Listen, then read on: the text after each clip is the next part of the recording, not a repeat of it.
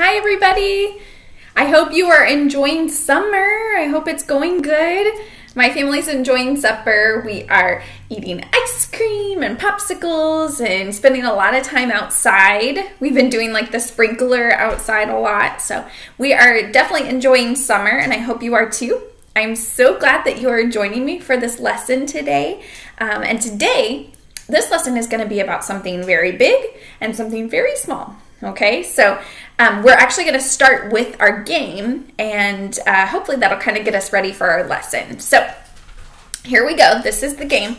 I'm going to describe something to you, and you have to try to guess what it is that I am talking about. And it's going to be something really big or something really small. Okay? So, here we go. This is the first thing.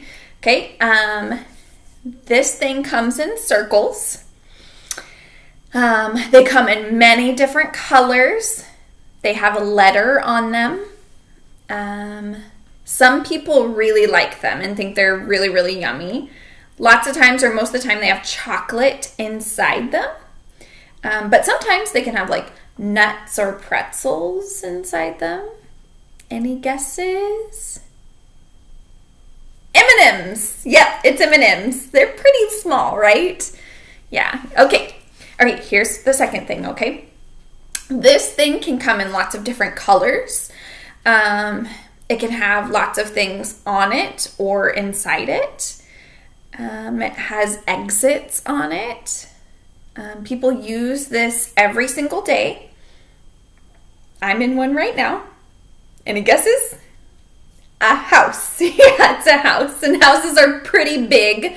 Um, although some are maybe a little smaller, they are still quite big. They're larger than we are. So, a house. Good. Okay.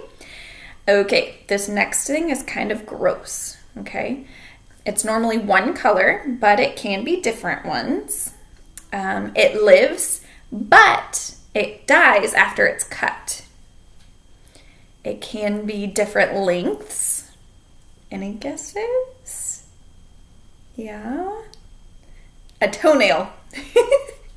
yeah, everybody has toenails, and even like your biggest toenail is still pretty small, right?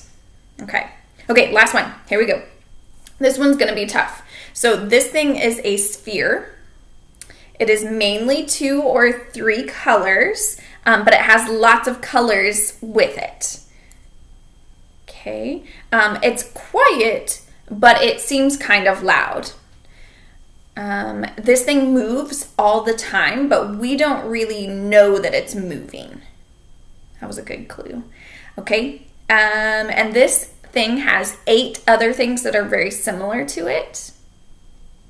It's the planet Earth. Yeah, Earth is huge. Um, did you know that it would take 438 1,755 football fields to stretch around the equator of the Earth. That is huge. That's massive. So, okay, thanks for playing our game. Yeah, so our lesson today is all about um, things that are big and some things that are small. Okay, so, um, and those things that we're going to be talking about are actually some ones. Okay, so the first person we're going to talk about is David, and he was, he's our small one, okay? Any guesses about who the big one is? If you said Dumbo, you are wrong. it's Goliath. Yes, hopefully you guessed Goliath, then you would be correct. Okay, so we're gonna open our Bibles. Open your Bibles, okay, um, to 1 Samuel 17, 1 through 40, 1 through 11, and then 45 through 50. Okay, so First Samuel's in the Old Testament. Okay, and once you find First Samuel, you're looking for the big number is going to be 17.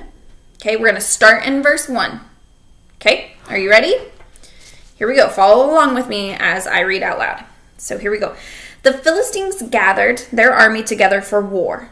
They came from Socoh in Judah. They set up camp at Ephes Dammim. It was between Socoh and Azekah Saul and the army of Israel gathered together. They camped in the valley of Elah. They lined up their men to fight against the Philistines. The Philistine army was camped on one hill. Israel's army was on another. The valley was between them. a mighty hero named Goliath came out of the Philistine camp. He was from Gath. He was more than nine feet tall. He had a bronze helmet on his head. He wore bronze armor that weighed 125 pounds. On his legs, he wore bronze guards. He carried a bronze javelin on his back. His spear was as big as a weaver's rod. Its iron point weighed 15 pounds. The man who carried his shield walked along in front of him. Goliath stood there and shouted to the soldiers of Israel. He said, Why do you come out and line up for battle? I'm a Philistine. You are servants of Saul. Choose one of your men, have him come down and face me.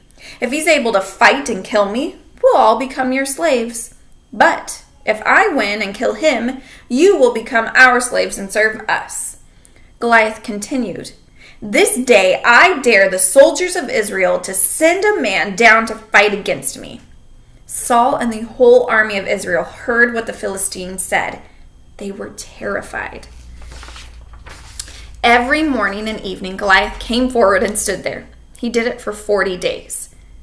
Then David picked up his wooden staff. He went down to the stream and chose five smooth stones. He put them in the pocket of his shepherd's bag. Then he took his sling in his hand and approached Goliath. At the same time, the Philistine kept coming closer to David. The man carrying Goliath's shield walked along in front of him. Goliath looked over at David. He saw how young he was. He also saw how healthy and handsome he was, and he hated him. He said to David, Why are you coming at me with sticks? Do you think I'm only a dog? The Philistine cursed David in the name of his gods. Come over here, he said. I'll feed your body to the birds and wild animals. David said to Goliath, You are coming to fight against me with a sword, a spear, and a javelin, but I come uh, I'm coming against you in the name of the Lord who rules over all. He is the God of the armies of Israel.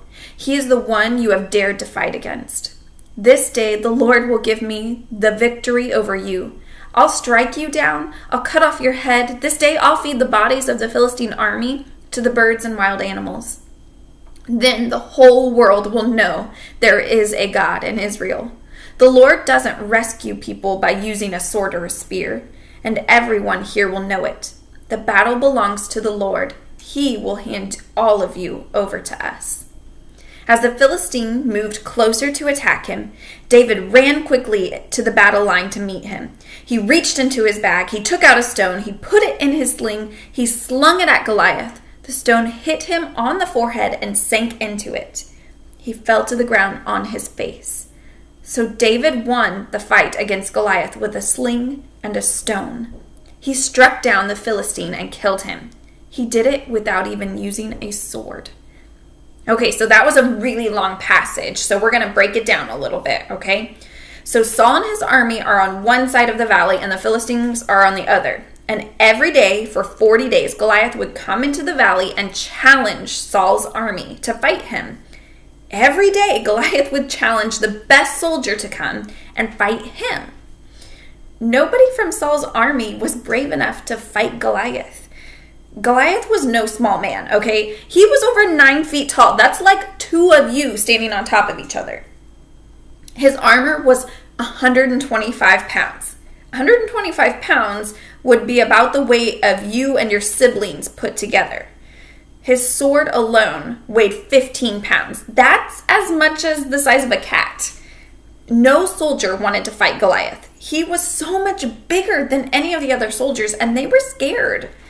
Then came David. David was the youngest son. He was young. He was a small boy. David took care of sheep and was only at the valley because he was bringing his brothers something to eat. Okay, so David uh, hears Goliath shouting and tells King Saul he will go fight him. Armed with only rocks and his slingshot, David fights Goliath. David knew that God was on his side and that God would help him and protect him. He put all of his trust in God. With one rock, David was able to defeat Goliath. That's such a cool story of how God protects us and takes care of us and helps us if we trust in Him. But how does this apply to us, okay? For starters, God is always on our side with and he will always be with us. When we have God, nothing can truly destroy us. We may not face a giant like Goliath, or um, but each of us have something that we deal with that's scary to us. It might be something like a big test, or um, someone who's being a bully to you, or just struggling with things that you're dealing with at home. Those things can all be big and daunting. They can make us feel like we are super small and powerless. But the thing is, God is with you. He can give you the tools you need, like courage and strength and bravery to beat those things. It might be scary and we might doubt if we can do it, but God gives us the power to be able to face our giants, like David faced Goliath. Okay, let's work on a memory verse to help us remember that God is always on our side and will give us the tools we need to defeat our giants in our lives. So it is Hebrews 13 6. And it says, So we can say boldly, The Lord helps me. I will not be afraid. What can mere human beings do to me? I want you guys to help me say this verse. It's so powerful um, and it, uh, it, we need to keep it tucked into our memory and our hearts. It reminds us that God is always with us and can help us. So repeat what I say. Hebrews 13 6. So we can say boldly, The Lord helps me. I will not be afraid. What can mere human beings do to me?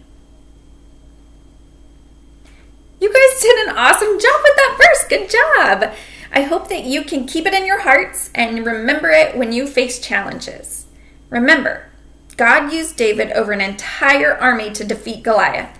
God can defeat your battles. Let's pray. Heavenly Father, we thank you so much for loving us and helping us when we face battles. Please help us to be brave and to be able to fight our battles knowing that you are in control and with us. Thank you guys. I hope that you enjoyed our lesson today, and I hope to see you soon. Keep enjoying your summer.